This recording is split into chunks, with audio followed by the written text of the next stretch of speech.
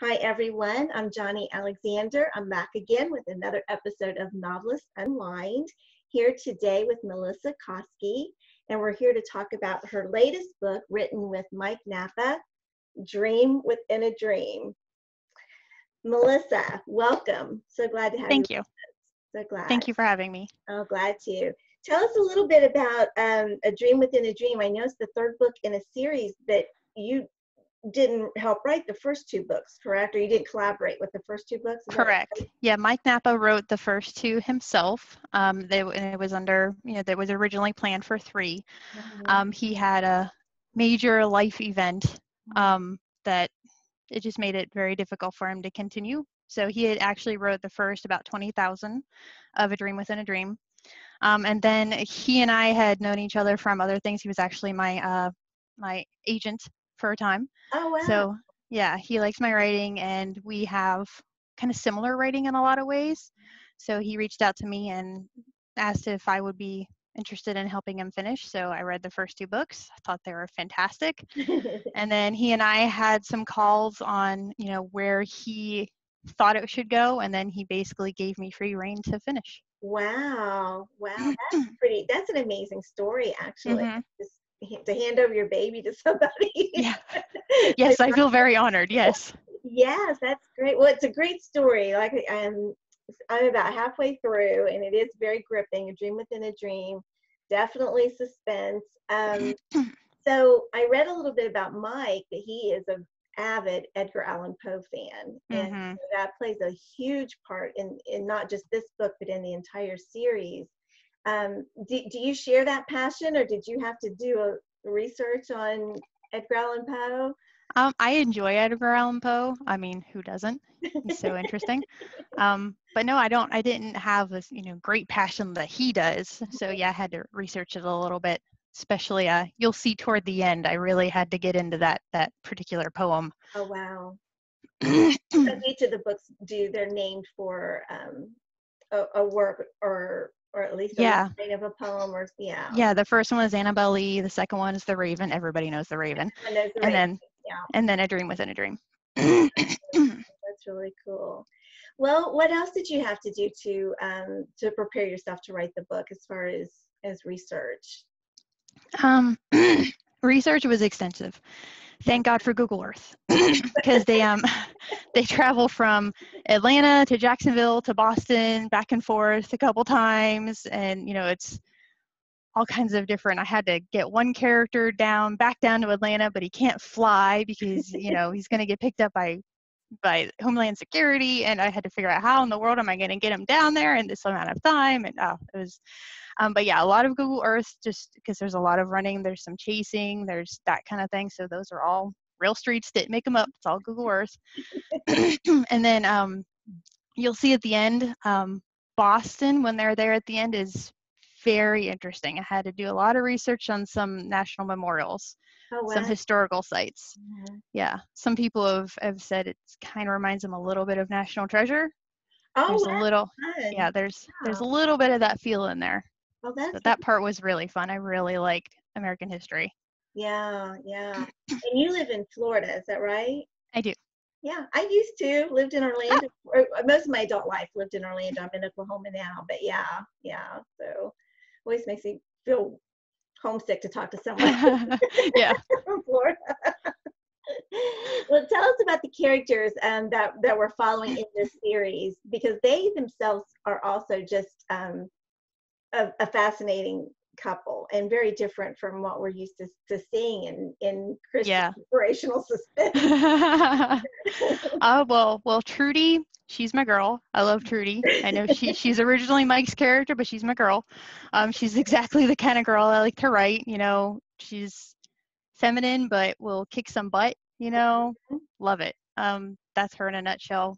Samuel, he's one of my favorite characters, but it took me a minute to to get him right. Mhm. um, you never know what is really going on under the surface with him. But I mean, I guess that's to be expected with his occupation. Right. Um, Dream is kind of actually the same. You don't really know what's going on with Dream until the very end, and even then, you're not totally sure. oh my goodness. Okay. just to bring everybody up to speed, so Samuel is a CIA operative. hmm Um, Trudi is his ex-wife. Yes. Ex-wife, but still friend, but Oh. definitely ex. yeah. And she runs the the detective agency. that I assume because I, I've not read the first two books and I wish I had, you know, as I was reading this one, I wish I'd already read those. Um, that was in the detective agency. I assume that they ran together. They started. Yeah, they, they ran together when they were married. Yeah, and, and then, then it's hers now. and it's hers. And Yeah. then Dream is this fascinating. yes, and I'm not Very- sure what to make of him. good. That's the idea. He's a very nervous, nervous, yes. mysterious, confused. But mm-hmm. is he really confused or is he just calculating? Yeah. yeah. Yeah. You did a great job getting inside his head, you know, and and and until you know you told your story of how you and Mike wrote the book, I was thinking, you know, I was wondering, okay, I wonder, you know, which one wrote which, and I really thought that you probably were writing Car- uh, Trudi's chapters, you know, that just seemed Mhm. like that really fit. But yeah, I mean, to get into Dream's head the way those those chapters are written, I mean, it's just it's it's a fascinating journey to be there. I love what's the chapter that Mike wrote at the beginning. It's where he's in the hotel room. Mhm. You've got read that already, and he's yeah, he's calling the lamp Wilson. You know, like Yes. the movie. yeah, Yeah, I, I love that chapter. that was really really cool. Yeah, that is, and she's like, okay, okay, you, you, he's got to be a genius. I mean, you know, he's a genius, but it's like, you know, where does but is he really crazy? exactly is he really? And you know, I thought it was so fun when I was reading your bio that you know, Trudi, like you said, she's she she can kick butt if she has to. Um, but you're a fourth degree black belt in Mhm. Taekwondo. That's great. So Mhm. how did that enter into the? Um, well, I love that I have the background because then I can write fight scenes properly. It's kind of my pet peeve where, you know, especially in romantic suspense where you've got somebody writing it that has no idea how to fight. Like, Um, that would be me. but, you know, I mean, if you sometimes they don't do the full research and it's like, no, no, that doesn't work that way. It So, happen. yeah. So it's nice that I have the background that it can be correct. Yeah. Now, as far as the the guns go, I have less. I had to do a lot more research on that. Yeah, yeah. I always have to research all that stuff too. And I'm trying to think. I don't guess I really write that many fight scenes. I do a lot. that is great. I mean, just again to have that experience. Yeah. hmm One other Very helpful. I was really, really fascinated with because I've uh, done a lot of research on this in a way myself was the the art heist and which plays such a big part in, in this story. And my first, my debut novel actually took place in World War II and was about the Nazis and the art, you know, and all of that. Mm, So I'm mhm. always interested in in the theft of art, and so part of your story is about the Gardner Museum in Boston, Isabella Mhm. Stewart Gardner, and I, you know, of course, have read about that, and you know, like I think I read a book about Rembrandt and his works. Of course, he was a prodigious painter, so he's got you know like hundreds and hundreds of paintings, but there have been more of his work stolen than, than any you know.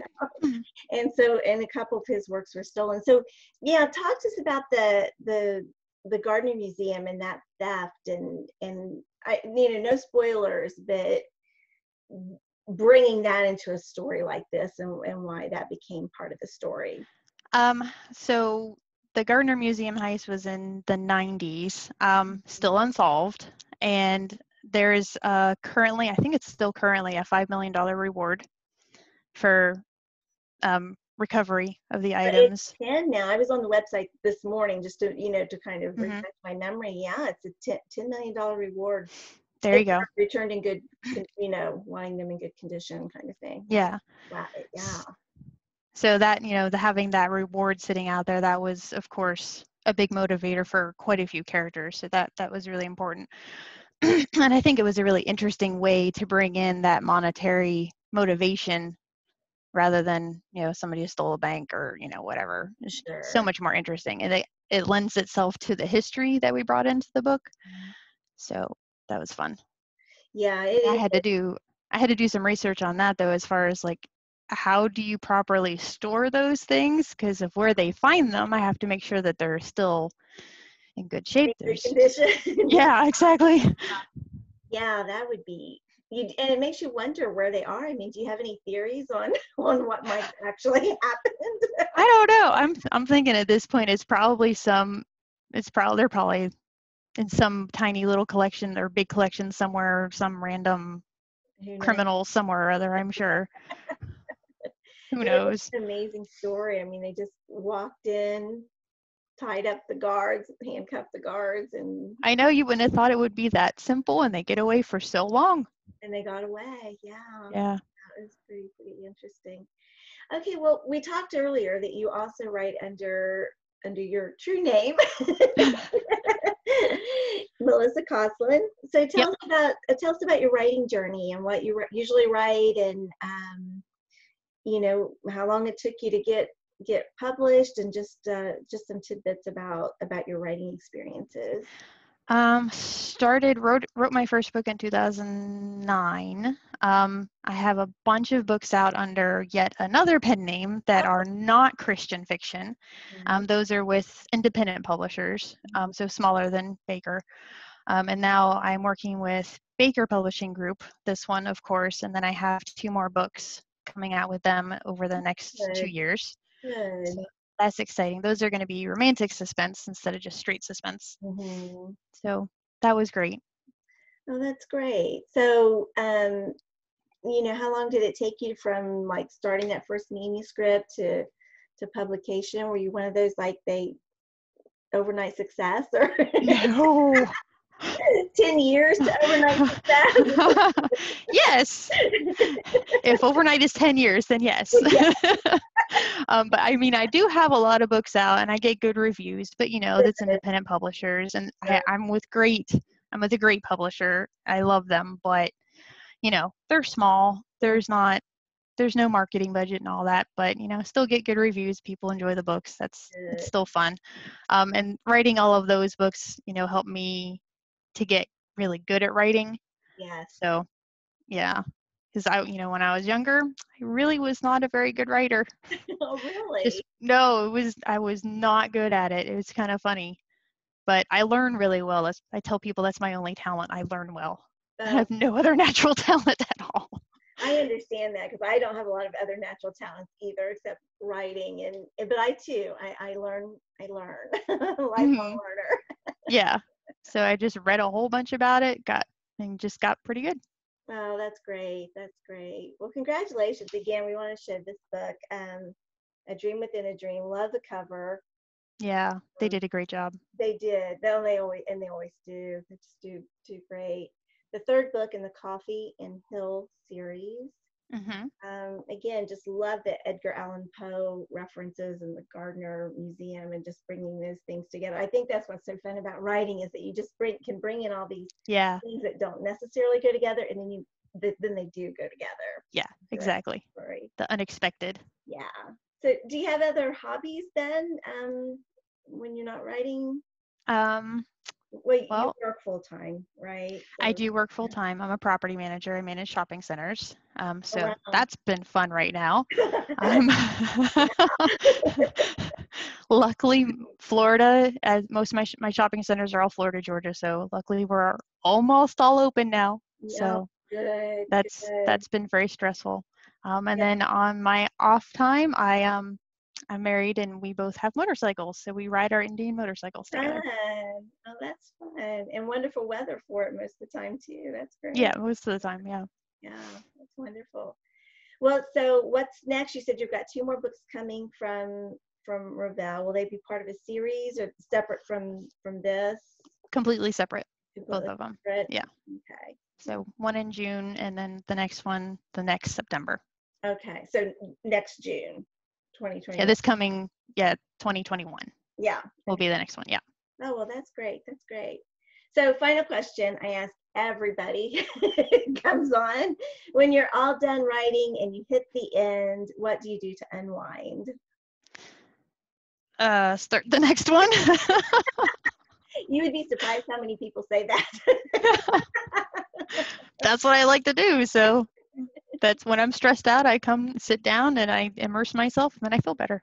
Oh, that's great. That's great. And I, you know, I, kudos to you for working a full time job and and you know, obviously not even that easy of a job. I mean, I'm sure there's challenges to that, and then Yeah. also writing because I, I, you know, writing is my full time job, and some days it's just like I was like, I don't know if I had another job on top of it.